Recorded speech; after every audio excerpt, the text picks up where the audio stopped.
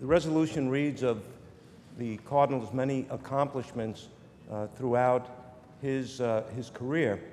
Uh, but also, there's another side of the Cardinal that many of us who have had the opportunity to, uh, to meet with him, uh, there's a genuine, nice guy part of him. And I go back to when I was sworn in as leader, and the, uh, the then bishop, Archbishop, but the Cardinal was standing in the corner with my father, and going through the, the ceremony, of the selection of a leader, and I, I'm looking over, my father's just chatting away with him.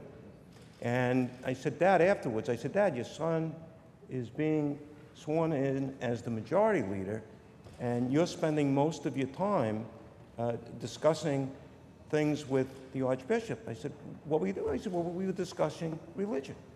And we were trying to resolve the small differences that exist between the Catholic Church and the Greek Orthodox Church. And I said, Well, have you succeeded? Because I know this has been going on for generation upon generation, century upon century. And he said, But we're, we're getting close.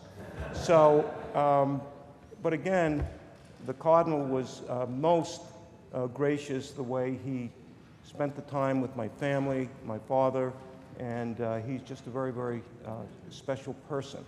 And all of us in the metropolitan area, no matter what our religion is, uh, we are all blessed to have him as a leader. He is a person that absorbs you, that loves you, that listens to you, and he will be a great spiritual leader, not just for the Catholic Church, but all churches and of, of, all faiths within the metropolitan area. So I'm very delighted to sponsor this uh, resolution.